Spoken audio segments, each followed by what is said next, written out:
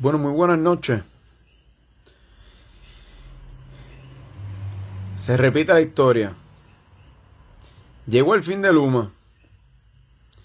Gobernador, estas palabras son para usted. Vamos a ser cortos y precisos. Bien cortos y precisos.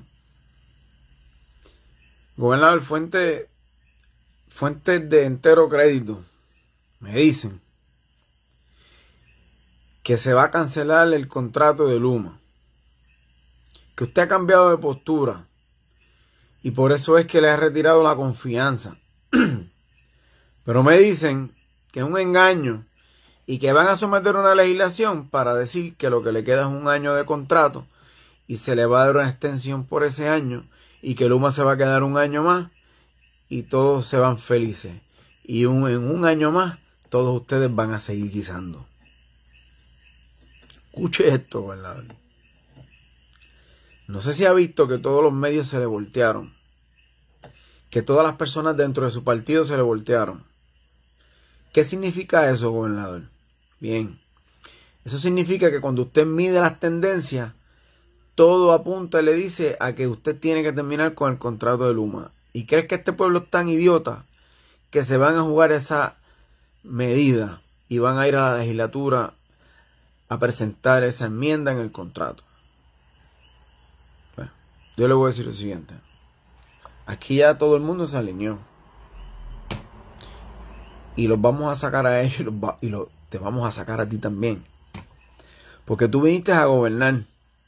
Se supone que eso deberías hacer y no lo hiciste. Y ya todo el mundo sabe que usted es un idiota.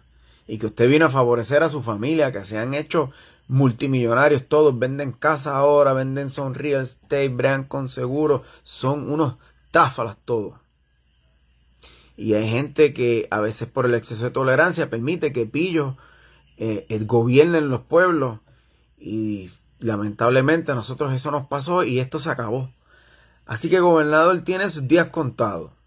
Verá, si usted presenta esa legislación en los próximos días para darle una extensión al contrato en Luma, de Luma, pues yo le voy a garantizar a usted que nos vamos a reunir todas las fuerzas que se están alineando y vamos a dejar todas nuestras diferencias a un lado y lo vamos a sacar a usted y vamos a sacar a Luma. Pero peor que como pasó con Ricky.